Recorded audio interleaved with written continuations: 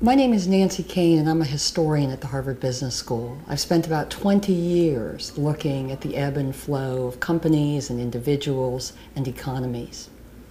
And in this moment, in this context, let us all just take a deep yoga breath and remember where we were a year ago. Banks were collapsing, stock markets around the world were plummeting, and families sitting around kitchen tables everywhere were trying to make sense of what was happening. As their house values fell, their retirement accounts were decimated, and their hopes for the future largely evaporated. At the same time that this was happening, government all over the world were channeling unprecedented sums of taxpayer money to banks and other institutions that were somehow at the center of this crisis.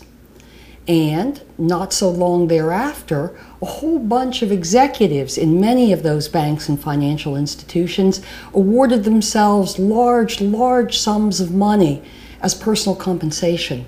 Following hard on the heels of these momentous events was a rapid fire recession that left people scared for their jobs, nervous about what would happen to their kids' futures, and more and more fearful.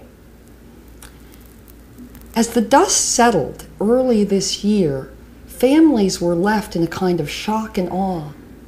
Consumers all over the world, but particularly in this country, were back on their heels and trying to understand why not unlike David Byrne in the movie Stop Making Sense and How Did I Get Here, why this had happened and what they had done by playing by the rules, investing their money in the stock market, saving for their retirement, and pursuing the American dream by buying a house, and how it could possibly be that they'd ended up here.